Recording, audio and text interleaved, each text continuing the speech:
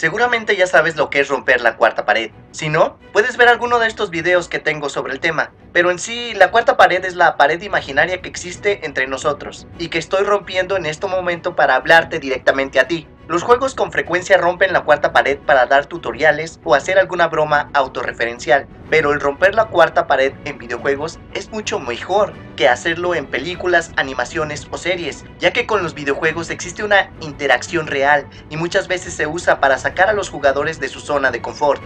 Aquí te dejo 12 videojuegos que rompen la cuarta pared. Star Tropics Star Tropics venía con un trozo de pergamino. En él había una nota garabateada por uno de los personajes del juego, pidiendo al jugador visitarlo en su laboratorio. Una manera inteligente de iniciar el juego, seguro, pero más tarde, cuando un personaje envía un siniestro mensaje que dirige al jugador para que moje la carta en agua, se convirtió inmediatamente en algo más significativo. Sumergir la carta en agua, la carta de verdad en agua real. Haciendo esto, se revelaba un código oculto que era utilizado más adelante en el juego, junto con un mensaje que le indica al jugador cuál es su próximo curso de acción. Era una idea audaz, pero esta se aguadó un poco con el lanzamiento de la consola virtual del Wii, en la que solamente se reduce a hacer clic en los iconos que aparecen en la pantalla de la carta y un cubo de agua a fin de revelar la información necesaria. Afro Samurai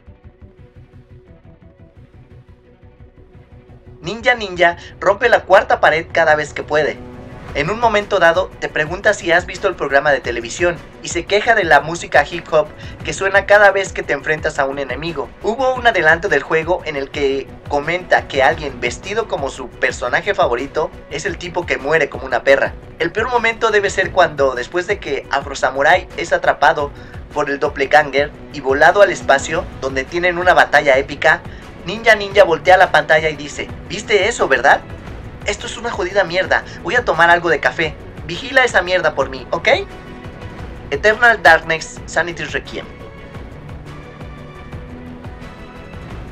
Al principio son cosas sutiles, como que el ángulo de la cámara toma una ligera posición o el sonido se convierte en silencio. Esas son cosas comunes, pero a medida que los locos empiezan a activarse, el juego finge un glitch o te muestra la pantalla azul de la muerte. Incluso podría cambiar el canal de entrada de video o mandarte de vuelta a la pantalla de inicio del GameCube solo para molestarte. Sin embargo, estos eran trucos baratos comparado a cuando se visualiza un aviso preguntándote, ¿deseas eliminar todas las partidas guardadas? Las únicas dos opciones, sí y continuar sin guardar. Era cuando empezabas a sentir un ligero ataque al corazón, después llegabas a otra ventana de diálogo y es cuando el juego con orgullo declara que se han eliminado todas las partidas guardadas. Es el más tenso de todos los momentos de tensión cuando su verdadera naturaleza es revelada. Spec Ops, The Line. Spec Ops The Line es un juego sobre el colapso mental del protagonista, Martin Walker, mientras trata de completar su misión en contra de toda razón. Mientras Walker pierde lentamente la mente, las pantallas de carga comienzan a hacerte frente a ti, el jugador, diciéndote cosas como, todo esto es tu culpa, ¿cuántos estadounidenses has matado hoy? Sigue siendo una buena persona. Rayleigh Default Si no quieres spoilers de Bravely Default, es hora de que te pases al siguiente punto de la lista. Una revelación es hecha justo después de que comienzas a sospechar que algo anda mal con tu hada compañera, Airi. El juego confirma tus sospechas inmediatamente dándote el mensaje, Airi miente. En la pantalla de menú con la que ya debes estar familiarizado, aparece esta marca permanente con una revelación inquietante. También el jefe final de Bravely Second incluso va más lejos al tratar de borrar tus archivos de guardado, solo para que los personajes te digan que nunca te des por vencido. Dead Space 2 El doctor Nolan Stross se está volviendo loco. Él ve cosas que otras personas no. Y si bien esto es motivo suficiente para ser cauteloso en torno al hombre, él se vuelve aún más espeluznante cuando dirige sus locas divagaciones hacia el jugador. Él me mira, Isaac, a través de los agujeros, en su cabeza. Deja de mirarme, basta. Antes de que esta escena suceda, tienes una buena vista de la habitación. No hay nada a lo que Stross pudiera estar gritando, a excepción de una pared, es decir, la cuarta pared. Undertale.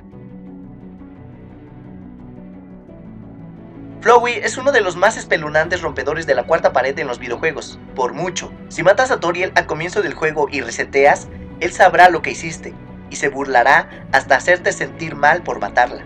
Durante la ruta genocida, Flowey se burlará no de ti, sino de todas las personas que ven videos en YouTube para lograr pasar el juego diciendo que no tienen las agallas para jugar por sí mismos a través de la ruta genocida. Aparte, Flowey parece que tiene el número de todas las personas que ven estos videos. X-Men Una vez que Mojo es derrotado, el juego simplemente no avanza más. La única pista ofrecida reinicia el ordenador. Avanzas un poco, miras a tu alrededor todo lo que quieras y no hay equipo o interruptor de reinicio que se vea. De hecho, el único botón de reinicio en cualquier lugar es el de tu consola. En una época sin discos duros o grabación de juegos, al restaurar una consola a mitad del juego después de una lucha con un jefe, era como decirte que rompieras el cartucho del juego o lo aventaras debajo de un camión. Requería un verdadero acto de fe, el realizar un reseteo era exactamente lo que te pedía el juego, y cuando los unos y ceros verdes aparecían y la historia avanzaba a través de paneles de dibujos animados de los noventas, ese salto de fe era recompensado con una experiencia memorable. Assassin's Creed 2 En Assassin's Creed 2, Desmond está utilizando el Animus para ver los recuerdos de Ezio. Al final, Minerva, un precursor de la raza humana, mira directamente a la cámara y entrega su mensaje a Desmond, reprendiendo a Ezio cada vez que éste interrumpe, y diciéndole que el mensaje no está destinado a él, quien es la única persona en la habitación, sino que está destinado al espectador, Desmond, con lo cual rompe la cuarta pared del Animus. Tomb Raider 2 Esta ruptura de la cuarta pared fue más una respuesta que una idea de romperla. En la misión final del juego, los bandidos se meten a robar la daga de Cian a Lara. Una vez que todos son vencidos, Lara decide tomar una ducha, llevando una escopeta con ella. Mientras se desnuda, ella mira hacia la cámara y dice, ¿no te parece que has visto lo suficiente? Y dispara rápidamente a la cámara. Como Lara era uno de los símbolos sexuales de juegos de la época, existía el rumor de un código para desnudarla, que no estaba en el primer juego. También había una tomadura de pelo extrema en el segundo juego en el que haciendo varios movimientos en el orden correcto, supuestamente se derretía la ropa, pero en realidad solo causaba que Lara explotara. Esta ruptura de la cuarta pared al final del juego es una referencia a todo esto. Batman, Arkham Asylum. Batman Arkham Asylum contenía una locura total a causa del gas del espantapájaros. Al caminar por uno de los corredores de Arkham, es interrumpida por una pantalla congelada. Con el corazón en la garganta y los dedos a centímetros del botón de encendido, vemos que el juego se reinicia de nuevo a la secuencia de apertura, solo que con una narrativa invertida. El Joker está al volante del Batimóvil y Batman es un prisionero en el asiento del pasajero. Batman es llevado al asilo donde es burlado por el Joker, Harley y el espantapájaros. Cuando el Joker pone una pistola en la cabeza de Batman y aprieta el gatillo, es game over. ¿Qué hicimos mal? ¿Cómo podríamos haber evitado la muerte? El consejo del juego en la pantalla de carga nos da la respuesta. Evita los disparos del Joker con el joystick central. ¿El joystick central? ¡Ah, sí! Bien jugado. Metal Gear Solid. Desde el momento en que Kenneth Baker nos dice que busquemos la frecuencia del codec de Merrill en la parte posterior de la caja del CD, estaba claro que Metal Gear Solid era especial.